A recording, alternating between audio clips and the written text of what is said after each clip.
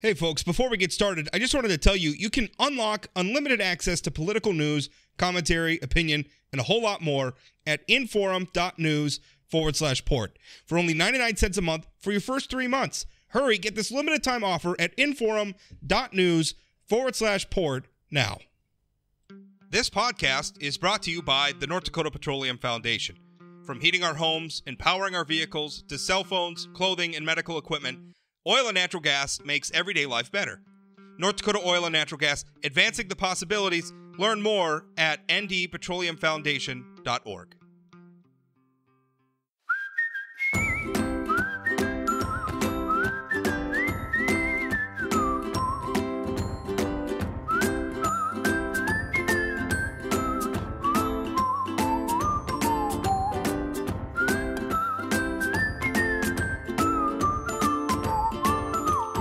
Plain Talk. Of course, I am your host, Rob Port, and uh, happy Happy Monday to you. So, in, in the state of North Dakota, we are having a debate over a new pipeline, and pi- pipeline debates are not new to the state of North Dakota, uh, but this one is a little different uh, because of what the pipeline is potentially going to carry. It's the Carbon Express pipeline to be built built by Summit Carbon Solutions, and it, it, the plan seems to be evolving a little bit, but essentially what it is is it, it would collect carbon from ethanol plants across the upper Midwest, bring them to North Dakota, and then put that carbon down underground. Um, Governor Doug Burgum has been very excited about this. His administration has been talking about it. It's gotten a lot of news coverage. An oil industry titan in North Dakota, at least, Harold Hamm, uh, has announced that he's going to invest a couple hundred million dollars into the project. Um, it's a big deal, and honestly, I've been excited about it. I think, a, this is something that we can do to try to bring some of our existing industries into line with modern understandings about the climate, and also, economically speaking, potentially it's a new industry for our state that could employ people and create new opportunities. Um, people make a lot of uh, people talk a lot about how our, our geology here in North Dakota, a lot of, of what allows um, North Dakota to be so rich in oil also makes this a good place for us to, to put a lot of a lot of carbon. But uh, not everybody likes this idea. So uh, there's a debate going on about whether or not this is truly a good thing.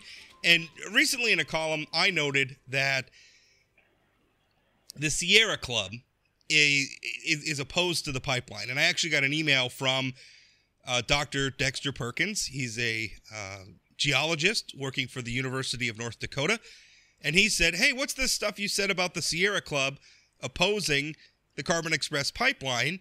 Uh, because our local chapter of discussed it and decided not to oppose it. And I noted that that Sierra chapters in Iowa and other parts of the country were opposing it, but I got interested in that. So I decided to have Mr. Perkins on to, to discuss the project uh, from that perspective. Dexter, welcome to the, the, the, program. Thanks for the time. Oh, I'm glad to be here. So, so tell us about the, the, the this pipeline. What what are your feelings about it?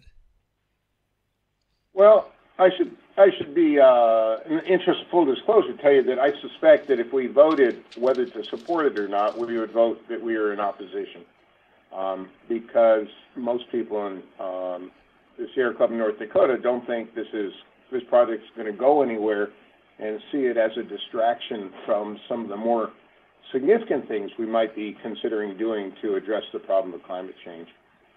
Um, the problem with CO2 capture and storing it underground is, in a nutshell, no one's ever done it successfully on any large scale. Um, it's been done sometimes to promote enhanced oil and gas recovery, which is, I think, one of the major motives for building a pipeline to North Dakota right now. Harold Hamm. Um, I'm in the Harold Hamm School of Geology, so I know Harold Hamm. Uh, but he wants CO2 to help him produce more oil in western North Dakota. I got it. But in terms of storing a lot of carbon dioxide and addressing the climate change problem, there's no reason to think it's going to do anything. Uh, it's been tried before. Uh, maybe the Petra Nova plant in Texas was the largest example, and they had incredible cost overruns when they constructed, and they only operated a few years, and then they shut down because, for technical reasons, they weren't hitting their targets, and it was too expensive to operate. And so I, I wish this was the solution to our problems. I mean, if we could store CO2 underground in North Dakota, as you said, there's a lot of good reasons for doing it. Uh, but I'm skeptical um, that it's ever going to come to fruition. And um, in the meantime, I think we should probably be focusing on alternative sources of energy and conservation and all the other stuff that we already know how to do. What what frustrates me a little bit when I hear I hear that attitude, and I'm, I'm not saying my argument is not that I, I know carbon capture is going to be a success. Um, my argument is, gosh, a lot of a lot of people are investing a lot of money in it, and and again, that's not always an indicator of success either. People invest a lot of money in stupid things uh, with regularity, but I, I guess is why not try? I mean, just because it hasn't been done successfully before doesn't mean it can't be done successfully going forward. We get better at things all the time. We have advancements in technology, and I mean it's it's possible it, it could work. And, and and what worries me is, is if I, I feel sometimes like like the climate change debate breaks down to this either or. Either you're for fossil fuels or you're for just completely something else. And I I, I think the path forward has got to include both because you know, okay, maybe carbon capture doesn't work. On the other hand, you're saying, well, we should be looking for alternatives. Well, what alternative is there to oil, which touches every single part of our life? You look at how the American public is reacting to gas price increases right now. If you think that there's the political will out there to ex- enact the sort of changes that would be required of the way we live our lives to replace oil with something else, you know, I, I got I got a bridge to sell you, man. I just don't think it's going to happen. Well, you're trying to. I think you're pushing me into a corner that I don't really want to go into. Okay. Uh, first of all, I think our future is, is a petroleum future. Okay, there's going to be oil being used to power our industry and our cars for a long time. So, but given that reality, the question is, what are we going to do to address climate change? And one thing is to use less oil, and you can do that by switching to other fuels as fast and conveniently as you can. But recognize, as you say, the world's not going to stop just because somebody from some environmental group says you can't use oil tomorrow. It's just not going to happen. That's living in la la land. Or you can sell me a bridge if you want to. but it, we are going to go forward. Um, but I can tell you, my wife and I built a house three years ago here in Grand Forks that uses 5% the energy of any other house in town. Um, it didn't take a lot of effort or thinking or planning to come up with a design and build an incredibly energy efficient house. This week, because it's not been very cold, it's only been down in the single digits, we haven't even turned on the heater. We get all our heating through our south facing windows because the house was designed with that in mind. I mean, there are a lot of things like that you can do, which aren't a question of switching to an alternative fuel source. They're a question of just using less energy. And when you combine that with alternative fuels, and I've, I've heard you talk about how wind and solar don't always work all the time, but they work some of the time. And we've got a battery in our house, and we charge up from our solar panels every morning, and then we have enough electricity to see us overnight the next night. Um, so there are a lot of things you can do and as I said, I think this pipeline thing is a distraction. But one of the reasons our group didn't come out against it was we're hoping we're wrong. As you say, give it if it works, everybody's happy, and we'll all be grinning, and it will be good for North Dakota economy, and it will be good for everybody. Um, but I wouldn't I wouldn't bet on it. It's like Project Tundra, right north of Bismarck. They're going to store CO2 underground to keep a coal plant operating cleanly, they say. Um, I'll give you three to one odds on a dollar that that plant, that coal capture project never even starts. Uh, because the technical problems that no one else has been able to overcome are still there. But keep our fingers crossed because it would be a wonderful thing if people could work it out. Well, that's I, and I guess I guess that's the thing. It it's you know it, it, seems like we have a lot of advancements. Uh, you know, humanity doing things that we didn't think could happen. I mean, we I, I always like to cite the example of um, Malthusian economics, which it, at one point was predicting that uh, humanity was going to grow, our population was going to grow to the point where we couldn't support ourselves with agriculture, and what that didn't take into account was Well, we're going to get better at agriculture. We're going to get better at yield rates. We're going to get better where we could grow more crops that are more resistant to, you know, weeds and, and the other problems that, that our food sources were going to become more reliable. I mean, it was it was a miracle. So I, I don't know. Like, I want to bet on human ingenuity. I, I, I think sometimes for me, as somebody who's very much not a part of the environmental movement, at least I mean, I, I share like I don't want to dump oil in, in rivers and lakes, and I don't want to emit things we don't need to be emitting into the air. Um, you know, but but beyond, like I, I kind of look at it, it seems so dark. Like it seems so at times cynical. Like like we don't have any choice but to take these dramatic steps and change how everybody live, lives their lives. I mean, I look at carbon capture and I see that is human ingenuity at work to try to find a solution to a real problem, and I want to support that. I don't want to be opposed to that. Which which I think is the same argument you're making. I mean, I feel like that's that's the area that, that you and I are, are and, and your your local Sierra Club that they're overlapping.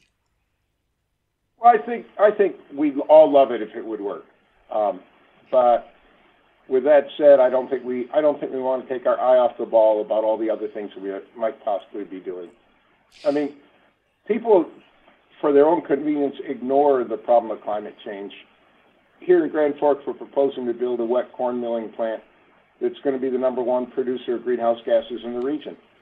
And the city council has already voted to invest $100 million into bringing the new largest polluter in our region to Grand Forks. I think that is immoral.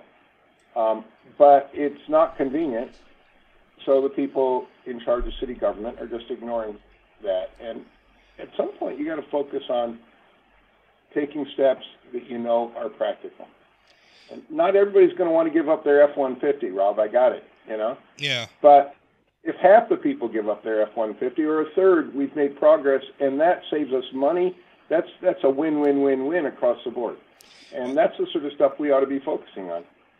Yeah, it's just stuff that has to make. I mean, to me, it always has to make economic sense. Like, if you give somebody an alternative where it makes sense, like like if the alternative costs less. I mean, I think the reason why a lot of people haven't been driving electric cars to this point understanding that th- this is a situation that's getting better. And I'm very enthusiastic about electric cars. I think they're cool.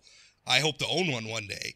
But for a lot of Americans, they're just not very practical, and they haven't been. And, and in the past, they've been very expensive. And you know, the, I think there are range issues that people are concerned about. Like, you know, for a while, I was looking like if I bought a Tesla, I couldn't get from Minot to Fargo, especially not in cold weather, without having to stop for an hour to charge it. Um, you know that's that's and, and where i mean where do i stop? I mean the charging stations are few and far between. It's just not real practical but i i, I worry like I, I think i think we could do stuff. It's just if, if we're trying to impose it on people i think that's i think that's the problem. But but you know getting back to this um again i i, I don't i want to be enthusiastic about it. I, I want to support it. And and you're i you know i, I guess you're saying your point about Fufeng i think was really interesting because an argument that I've been making lately is that we're, we're kind of pushing our guilt out of out of sight, out of mind. Like we don't want to build it here. We don't want to build a corn milling plant here in the United States. Okay, well, corn still needs to be milled somewhere. So where are we going to build it? We're going to build it out in the middle of the out in the middle of nowhere where there, there's fewer people to complain about it. Are we going to build it in another country that maybe isn't going to have our level of oversight and regulation around it? Which I think it's a lot of what what like Europe has done with coal and gas and oil. They stopped producing it in in Europe, or at least reduced production of it in Europe, but just moved it to places like Russia, which I don't know. That just kind of seems like we're exporting our guilt. No, that's not a good solution to the problem. But um, if you're going to build a corn milling plant today, given what we know about climate change, you don't power it by burning natural gas. You power it in some other way. Um, and it is possible to build plants that run and process corn that are much more friendly to the environment than the one that's being proposed. The one that's being proposed for Grand Forks is just same old, the way it's always been done. And that's the problem. You, you got to be innovative, trust human ingenuity to come up with a new way to get you to the same goals that you want to get to. But then, isn't that the argument in favor of carbon capture? I mean, isn't that human ingenuity? I mean, and, and, I guess I'm, I'm asking you. You're, you're not saying you're opposed to it. I, I guess, which is what I'm I'm kind of in, in, implying here, which you're not. But but some of your, I mean, we have other Sierra Club chapters that are, And to me, I think that's a mistake. Why would you oppose this? Why would the Sierra Club oppose carbon capture? I don't understand it. Um, again, you're you got to be careful about talking about the club because, as you know, we're a whole bunch of different entities. That's fair. Yeah. Uh, I understand it. As a hardcore, used to be unyielding uh, environmental activist, I was pretty sure I knew what the solutions were to all the problems and what we should be doing. And today, as I've you know grown up a little bit and get a little more mature, I realize that I'm not 100% certain I know what the solutions are. But zealots, people working on any issue, whether it's a environmental cause or a Donald Trump supporter, are they see things their way and they're going to be very outspoken and aggressive and, and push what they think is the right thing to do. And I applaud people for that sort of stuff. Um, but at some point, you got to get together and start talking and trying to figure out really uh, what the path forward is and what it is you can agree on instead of arguing about what it is you disagree on. And and I, I think the solutions have to work. I mean, you you you brought up you know me, me talking about wind turbines and solar panels. They don't work. I'm kind of like you. I'm, I'm kind of the same mind as you are about those things as you are about carbon capture, and that I'm all for them if they work. But you know, I heard Warren Buffett said not that long ago that the only good reason to build a wind turbine is to capture the the, the subsidies from the government. And we can get into a whole debate about government subsidies and everything else. I don't really want to go down that road. But I, I worry that you know we're we're producing wind. To, to, you know the incentive to produce wind is is political, not necessarily driven by realities in the marketplace, and and something that that doesn't that doesn't conform to the realities of the marketplace will inevitably fail. I, I think I think that's just truth. So I would like those things to work. I think it'd be beautiful if they did. I just don't I don't think that they do. And the idea that we could just switch to them is a is a fantasy. Well, I, I think you're wrong. Um, and I think the economics of wind and solar have been well demonstrated in uh, western states in the United States where power companies are using wind and solar. And it's not just because of, of subsidies. But, you know, subsidies are, we do that, we use that to influence human behavior. I mean, the reason carbon capture is possible in North Dakota Tax is because credits. of the federal tax subsidies. Tax credits. Yep, absolutely. So it, it we always use subsidies to try and get what did what did Garrett Hardin call it? Mutually agreed upon coercion.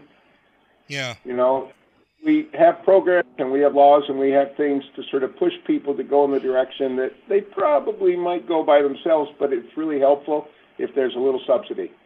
I Or Yeah, what, what worries me about subsidies, like I'm, I'm all for subsidies for helping a truly emerging industry. Um, especially when we're funding research and development, you know, like through our universities and stuff like that. I'm all for government funding for that. Let's find better ways of doing things. Let's fund human ingenuity and and humans seeking more knowledge.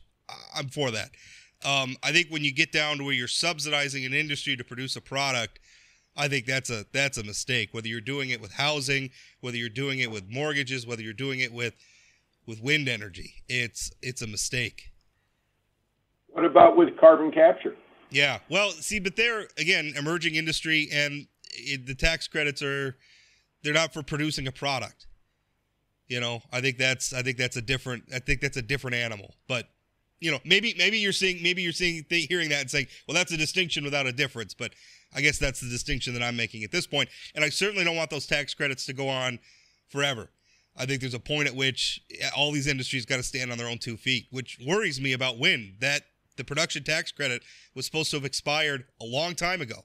They keep saying they don't need it, and yet Congress keeps magically bringing it back at the end of every year.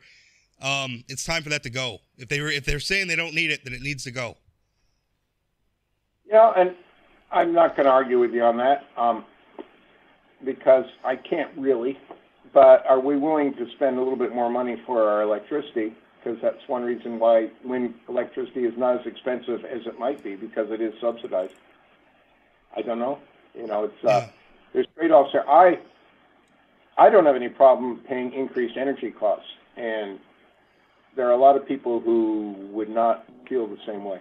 Yeah, well, I mean, there's a lot of people who don't have that expendable money in their in their budgets. Let's face it, um, which probably speaks to a larger problem with American society and the number of people who are living paycheck to paycheck. And we could do a whole uh, a whole year's worth of podcast episodes on those issues. But Um, you know, I it's America, and especially right now. I mean, Americans are getting hit hard. I filled up my I filled up my uh, my Yukon GMC Yukon this morning, and it was over a hundred bucks at the pump. It was $110 to fill it up because I got right down to E because I was dreading. I kept hoping that you know the prices would break, and uh, yeah, it was 110 bucks. And I'll tell you, I was cringing paying that. So I mean, and and it's it's across the board. I mean, prices at the grocery store are up. It's it's tough out there right now.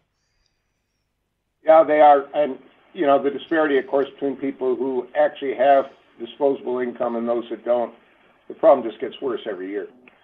So, so getting back to your the, the, the local chapter of the Sierra Club, you you folks actually discussed this, and you made a decision not to support it, but also not to oppose it. So, I, I don't know what what would you describe your club's position on it at this point? Wait and see. Wait and see. Well, I uh, guess I guess that's a good one. You know, it puts us in, in a minority, I think, compared to a lot of environmental groups. Um, but you know, we're a pretty practical bunch of people. yeah, I, I think so. And again, I think practicality is what's got to. It's I, and it is one thing that frustrates me about so much of the climate change debate. Well, like anything else in America, is how polarized it is. Like I don't. I don't think wind turbines are a dirty word, right? I don't think solar panels are a dirty word. I think electric cars are cool. Like this this trend where people are like blocking people from being able to get their electric cars into chargers and stuff like that. I think is I think is ridiculous. Um, you know, it's it's I, I don't know why we feel like we have to have the these sort of tribal loyalties behind. You're either pro coal and pro oil, or you're pro wind turbine and and pro solar, and and the two sides can't overlap anywhere. Um, that that sort of thinking is killing us. That's making all of this so much more harder than it needs to be, and it's already a difficult issue. I agree, and it's that's true. Of course, any major political issue that's up today, things are very, very polarized. But what bothers me most about the climate change thing is not as much now as it was five years ago, but we still have a whole bunch of people that just don't want to think about it or worry about it or recognize what the potential problems are that are coming down the road. And that's really dangerous. I mean, in the last three years, New York City subway systems have had water in them several times that stuff's just going to keep happening. And we should at some point say, okay, we got an issue here and we got to deal with it. I, I feel and, like I feel like there's a shift happening. I mean, our Republican governor in a very, very pro oil and pro coal state set a goal to be carbon neutral by what was it, 2030? And I, I don't know. I mean, whatever you want to think about that goal or how attainable it is or what his motivations are for making it, um, that's Republicans talking in a way that they have not talked about before. That seems like a big shift to me. I'm pretty impressed by that goal. Um, I have yet to see how it's going to be reached. Yeah, well, I think they're banking a lot on carbon capture, which you're, I know you're pretty skeptical of, but uh, I guess we're going to see. So, uh, as this as this plays out, I mean, what uh, talk for a minute because a lot of my listeners are going to be in the oil patch. I mean, I'm a conservative guy. Um, I I know I have a lot of people who are very you know they work in the coal industry, they work in the oil industry, and you know I I warn them all the time. Like I'm not in this because I think we ought to be using coal forever just for the sake of using coal any more than I would have been in favor of just continuing to manufacture you know, horse buggies after the automobile was invented, right? If we find something new and a better way of doing things, then that's what we ought to be using. I'm just not convinced that we have yet. Um, but speak a little bit as, as, as what you're saying, a pragmatic environmentalist. Speak to those people a little bit. How do we find common ground? Well, again, for the uh, coal is North Dakota lignite's not exactly the best source of energy, but if you want to talk to people in the oil patch, um, their jobs are going to be there as far as I can see into the future. It may not be the same as it was last week or last month or last year, um, but we're going to be producing oil. Uh, the world's not going to go cold turkey, and we're not going to shut fracking down in western North Dakota. It's just not going to happen. And I think they should not feel like there's a gun being aimed at their head because there really isn't, at least not when you come right down to what's happening in our state. Nationally, national politics, people say all sorts of things and advocate all sorts of things, and you know, that's a little bit different.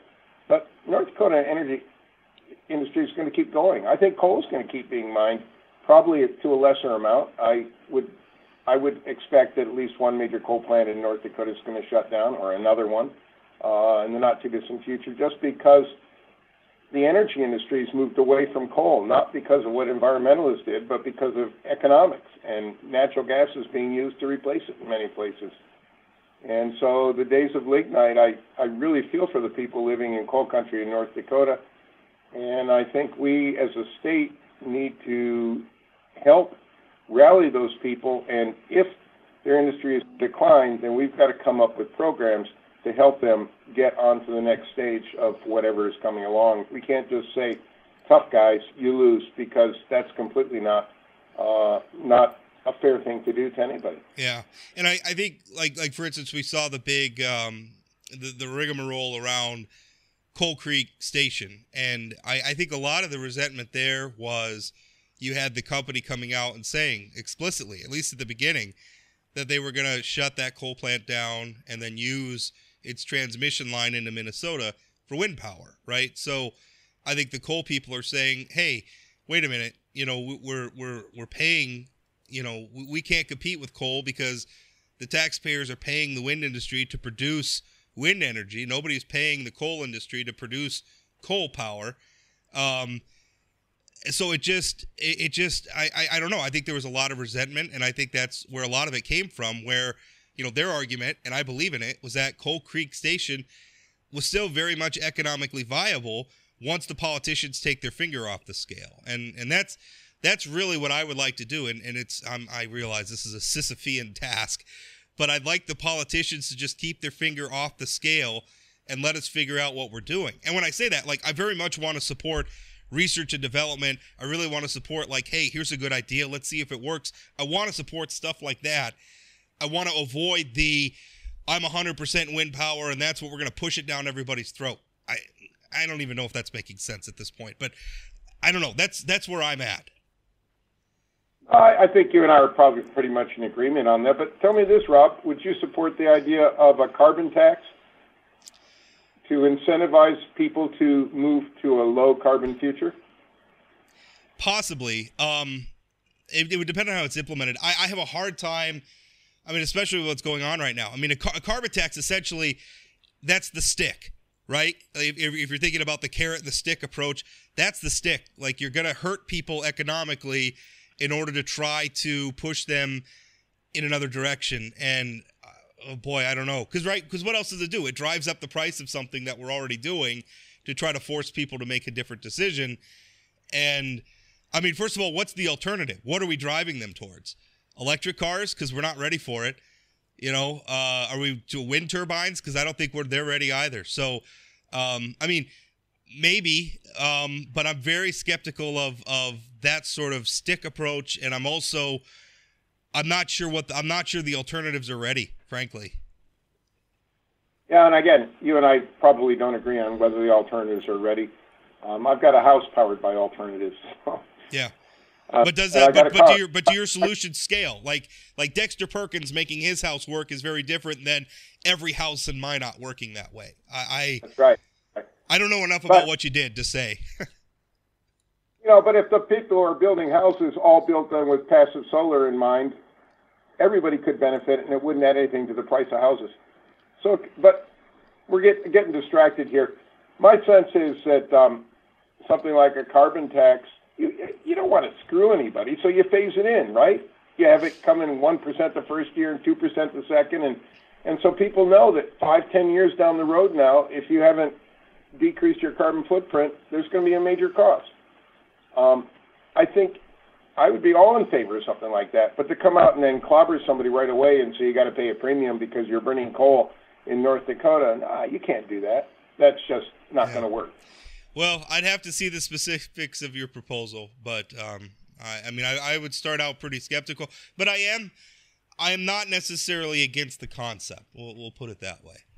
Well, the reason I was asking is you sound like um, you're telling me, and I agree that people can solve problems, and we just got to get them thinking correctly and putting their human ingenuity together to solve these issues, rather than having these wars and fights back, and I'm with you on that. But sometimes I think you do need the stick. Yeah. And I, we, you know, we have all sorts of zoning ordinances so that people don't build factories in the wrong part of town. A lot of people would say, hey, you can't tell me what I can do with my property. But we accept that kind of thing because we don't want a factory being built next to our school. And sometimes you have to have regulations and things that people otherwise would prefer not to have. The the the very very difficult in this thing is uh, because I, I'm a I'm a as, as you might expect, giving my political predilections, I'm a believer in the marketplace, and so I like the things that people respond to. I think it's best that they're organic, not that they're we've we've created a a pressure point politically. Um, right? Like so everybody gets hungry. So obviously that's our impetus to produce food and to buy food and all the rest of us. We all get cold. That's why we don't need a law mandating that people make clothing. We need clothing, right? These are very obvious things. The problem is is that the climate is this externality that is extremely it's hard to quantify. Um, it, and it's it's hard for people to wrap their heads around. And then you have all sorts of, I would argue, very overzealous people. I don't think Al Gore has done the environmental movement a, a very good service because a lot of his just over the top predictions over the years they've come they're not they've come not true right i mean hollywood showing us video like all oh, these tsunamis are going to come in and cities are going to be destroyed and everything and uh, i mean at one point al gore saying we shouldn't have ice, you know polar ice caps by now but we do and i think that i think that's difficult for i think it's i think it's created this expectation or, or this this feeling in the public that's not unwarranted that a lot of what they're saying is just overwrought and not and not necessarily true. And that it's being said to in, in pursuit of a, a political agenda. So you know I, I want what people to read but but I, the, the, again the confounding part of all of this is that the externality that is the climate is not is not obvious right? Like if you're running a restaurant, the externality where if you make bad food, people aren't going to come to your restaurant. Like that's a very that's a very easy to define thing, but the climate is is not. So how you bring that into a mar- like, like a sort of market-based approach to this is difficult. It's something like a carbon tax could produce that, but do I trust the politicians to implement it in, in a way that's not in pursuit of other agendas? I know, not really, but I don't know. I don't know. I'm I'm all over the map on this. I realize I'm I'm struggling with it because I I very much I agree with you that there's a problem. We need to do something about it. I just don't want the solution to be worse than the problem. Well, I, I agree with you too, and and I wasn't saying I'm all in favor of carbon tax. What I was thinking was, do we implement uh, government programs, whether they're laws or taxes or whatever, to help influence people towards a behavior that we think is is appropriate? And um, of course, then you have to trust people to identify those appropriate behaviors, and you end up with a whole big slippery slope as you start going forward yeah. on that.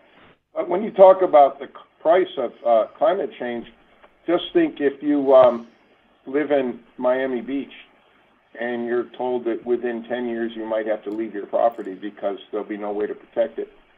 All of a sudden, the price of climate change becomes real to you. Yeah if if you believe that that's actually going to happen in 10 years. But again, there's a lengthy track record of environmentalists making Armageddon predictions that just don't come true. And I, I mean, I don't know. Maybe maybe the one you're saying is true. I don't know. There's a whole host out there that, that aren't that didn't come true, and and that's a problem. I think for your side. Oh, there's, there's, it's the other way around too. There's a whole bunch lengthy track record of people saying that climate change is not going to have any yeah, effect on wildfires fair. in western United States. Well, we know that's not true. And we know that climate change is responsible for devastating wildfires in California. So people say a lot of stuff that may not necessarily be true. And it, it, the wise man and the wise woman got to get together and figure out what is true and then start thinking about what they're going to do about it. You just can't write off Rob Port as being a wacko or Dexter as being a wacko.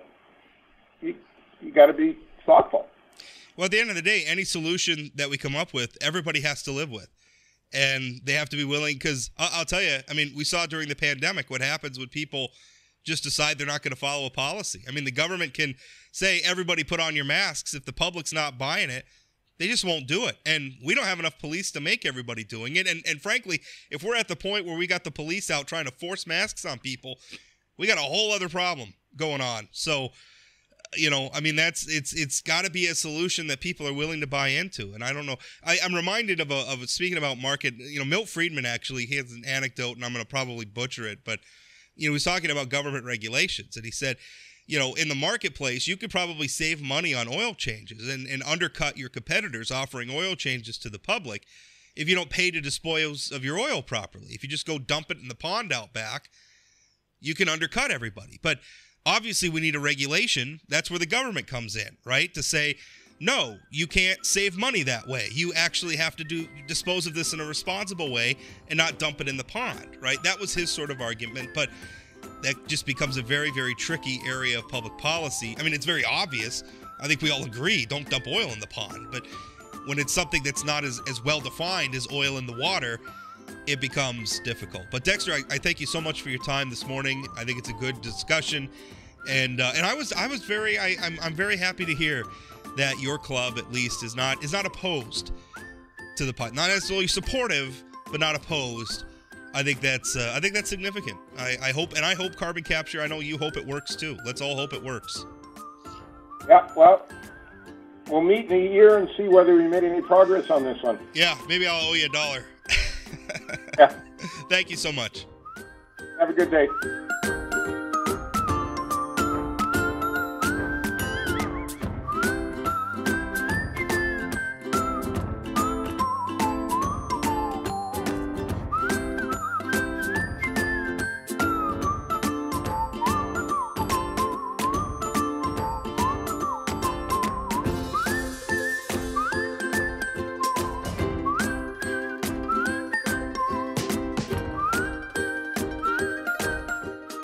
Want more political news like this?